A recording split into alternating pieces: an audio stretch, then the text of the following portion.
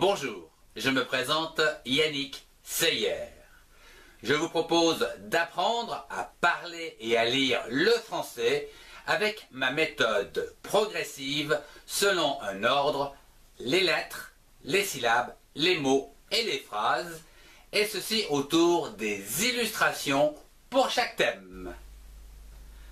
Le son est que l'on peut écrire ET et que l'on trouve dans les mots avec la voyelle E accentuée, à savoir E accent grave et, comme par exemple le mot père, PE accent grave, P, RE, re, ou encore avec l'accent circonflexe, E accent circonflexe, comme par exemple le mot fête, F-E, accent circonflexe, fait, T-E, te, fête. Bien, voyons en présent le rôle du déterminant dans une phrase qui va donc permettre de connaître le genre. Par exemple, devant un nom, lorsque vous trouvez le ou un, le genre est masculin. Comme par exemple, un sapin ou le sapin.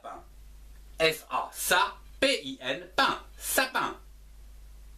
Lorsque vous rencontrez la ou une, le genre est féminin. Comme par exemple, la forêt. F-O, faux, R-E, accent circonflexe, T, ré, forêt. De même, on pourrait trouver le père ou un père, la mère ou une mère.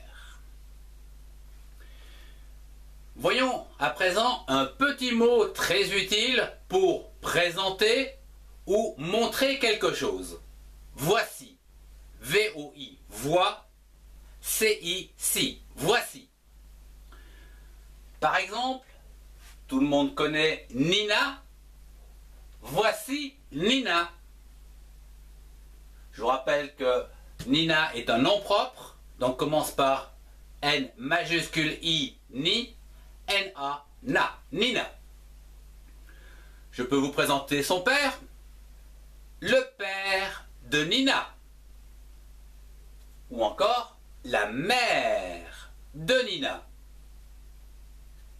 Ou encore un ami. Voici un ami. A, M-I, mi, ami. Un ami. Ou ici, il y a une liaison entre le N et la voyelle A. De même, une amie. Une amie. Attention, ici, on a liaison, une amie et un E qui termine amie. Ici, le nom est bien sûr féminin, prend un E. Bien. Donc, voici le père, voici la mère, voici un ami, voici une amie. Passons au vocabulaire. Un arbre, A-R, ar, B-R-E, breu, arbre. Ici, il y a liaison entre un et A, puisqu'il y a une voyelle entre le N et le A. Un arbre. Et donc, il est masculin. Une branche. B-R-A-N. Bran. C-H-E. Che. Branche.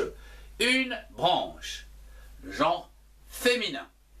Puisque nous avons une devant le mot. Ou devant le nom. Un berger. B-E-R. Ber. G-E-R. G. Berger. Un berger. Donc un berger, c'est masculin. Et une bergère, c'est féminin.